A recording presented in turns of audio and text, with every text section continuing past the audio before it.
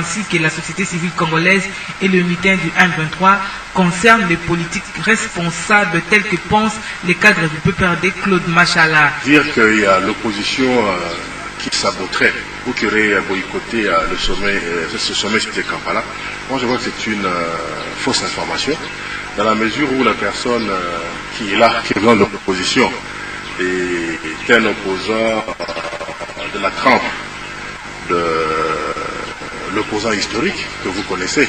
Et je pense que M. Christian Badibangi, l'honorable Christian Badibangi, a eu même en son temps à le déclarer au effort qu'après qu'il s'est dit c'est élu.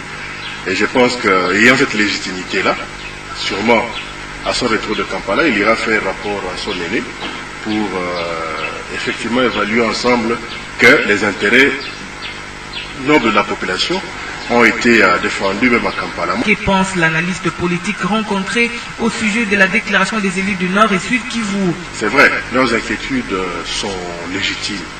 Il ne faudrait pas que nos frères Tutsi ou nos frères Banyamulenge pensent qu'ils auraient euh, un statut particulier ou l'effet de prendre les armes au cure des épithètes de qualificatifs tout à fait particuliers de, manière à continuer toujours à remettre en cause euh, notre marche vers le développement. Claude Machala s'inscrit en faux face à toute idée visant à humilier les Congos. Le chef de l'État a toujours été très clair que partout il faudra parler paix au Congo, il est prêt à se rendre. Donc euh, je ne dirais pas comme euh, Mobutu l'avait dit en son temps, s'il fallait signer le pacte avec le diable le ferret pour que le Congo reste un et unique. Et pourquoi on ne serait pas tenté de faire comme Mobutu Parce qu'on a vu en son temps que le pays était vraiment un, et indivisible. Donc ici, euh, il n'est pas question vraiment de pactiser avec Satan, mais il est juste question de continuer à faire preuve de bonne foi et surtout de prouver à la face du monde que nous sommes du bon côté, c'est du côté de la vérité. C'est nous qui sommes agressés. La majorité présidentielle reste formelle au sujet des négociations de Kampala. Pour elle, seuls les accords du 23 mars 2009 seront évalués et non les contraires. Et nous voulons négocier avec qui que ce soit. Et encore, non pas seulement le M23, mais tous les mouvements rebelles.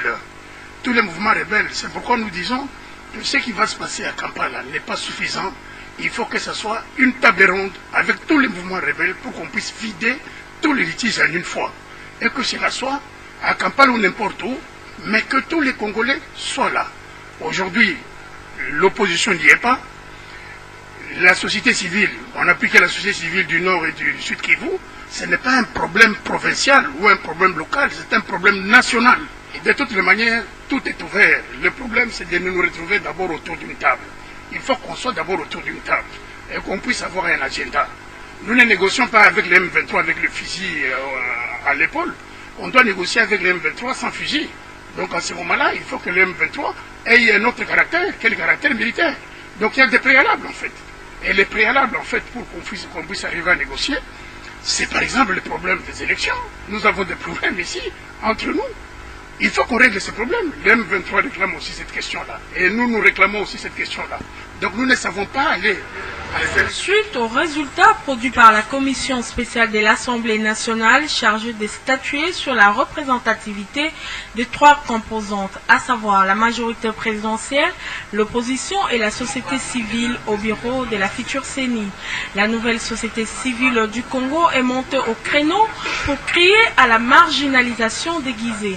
Les stratégies sont toujours euh, des possibilités euh, d'actionner ce qu'on a projet action. Pour le moment, euh, s'il arrivait de par méga, ce n'est pas mon souhait, vous savez aussi que la population n'a plus confiance dans le chef même de la classe politique de notre pays, lorsqu'on observe comment les élections sont organisées, comment ils s'impliquent et comment ils veulent posséder la commission électorale, ils ont intérêt à prendre deux personnalités qui peuvent redonner confiance à la population pour qu'on puisse redémarrer le processus électoral. Les vins tirés, il faut les boire, dit-on.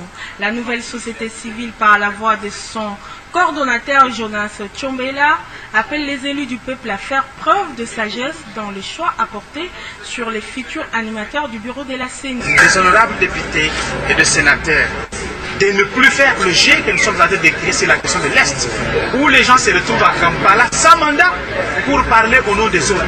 Et euh, voilà pourquoi d'ailleurs nous ne nous concernons pas dans cette démarche. C'est à l'issue de l'Assemblée générale des acteurs de la société civile prévue dans les prochains jours que les critères de représentants de forces vives de la nation au bureau de la CENI seront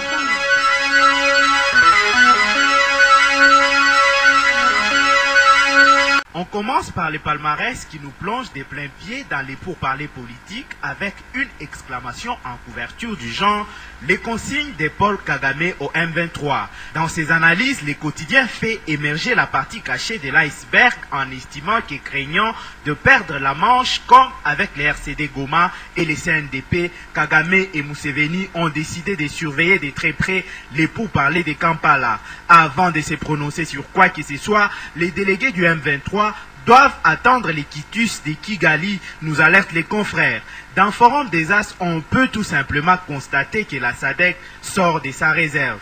Et pour cause, la troïka de cette organisation régionale Afrique du Sud, Angola, Tanzanie, au demeurant dépassée par les atermoiements du Rwanda, s'apprête à durcir les tons à l'occasion du sommet qui s'ouvre demain vendredi à Dar Salam, relève les journaux. Nous aurons tort de ne pas croire à la personne du chef de l'État, phrase reprise en gras au pied de la une du quotidien Les Dépêches de Brazzaville. Dans ces colonnes, les journaux qui nous renseignent sur l'interview accordée à Benoît Yulama dénoté Défenseur inconditionné de l'intégrité territoriale de la souveraineté de la RDC, Benoît Yulama a exprimé sa tristesse et l'humiliation ressentie lors de la prise de la ville de Goma par les M23 qu'il attribue essentiellement à l'infiltration dont souffre l'armée et une classe politique congolaise à la merci des intérêts étrangers. Ses disciples de Kabila critiquent sévèrement les rôles négatifs joués par la MONUSCO, les Rwanda et l'Ouganda dans cette phase de la crise et refusent de croire à une quelconque action salvatrice de la communauté internationale. Idem chez l'observateur qui n'étant pas en reste en rapport avec la même interview, fait observer que Maître Yulama, connu pour ne pas avoir sa langue en poche, fait ici une réflexion que les rédacteurs de l'article nous recommandent de lire. Les graphiques attirent notre attention sur les faits qu'il se situe au-delà des clivages majorité-opposition pour interpeller tous les Congolais appelés à intérioriser que sans un sursaut patriotique, que leur pays, ces pays, peut connaître des moments très sombres. On termine par la prospérité qui, en page intérieure, assure qu'après le départ du M23 de Goma, 273 policiers sécurisent les banques et autres lieux stratégiques. À en croire ces tabloïds, les gomatraciens reprennent déjà leurs activités de tous les jours. Quelques entreprises fermées durant la période sous occupation s'ouvrent à nouveau. Au revoir.